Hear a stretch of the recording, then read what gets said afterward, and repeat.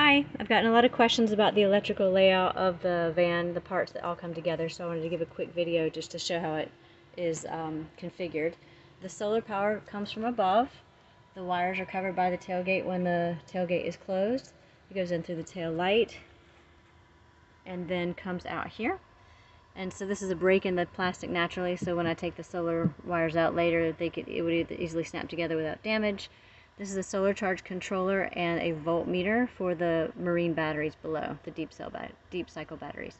This is a remote start for the inverter. The wiring from that all comes down together and is joined by the wiring from the uh, car's alternator that goes underneath the flooring so you can't see it anywhere else except for here. And then all of that goes into the, um, the batteries. So there is a battery charger external here and I have the plug for that running underneath this wall on this side so that I can plug it in. Right now it's plugged into my house, but that would also be plugged into like a standard outlet in a, in a campground.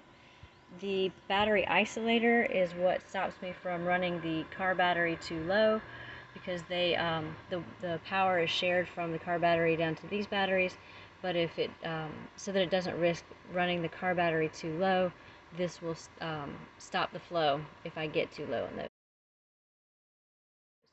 So um, the three batteries are wired together this way. There is hard wiring for the um, refrigerator going straight from the batteries and it runs behind the cabinetry so that uh, the refrigerator stays plugged in all the time and then the power plugs for things like lighting and charging stations and stuff like that are also directly powered into the batteries. So uh, the inverter, which is right now sitting on the floorboard just because I've taken out the cover that normally goes over these batteries, the inverter is a 2200 watt pure sine wave inverter. Um, the the batteries themselves are protected by uh, a piece of flooring that I put over here. There's still some natural venting because I don't close it in in the front and also it's not closed in on the sides. Um, and then I need some airflow also for the battery charger so that it gets airflow behind and in front of it. I do have a 200 amp circuit breaker so that I don't run the risk of um, causing any charges or starting any fires if there's a, a, major influx of power. And then also because I have that flooring that covers the terminals, it stops the risk of having any sparks or anything like that from any contacts from above hit.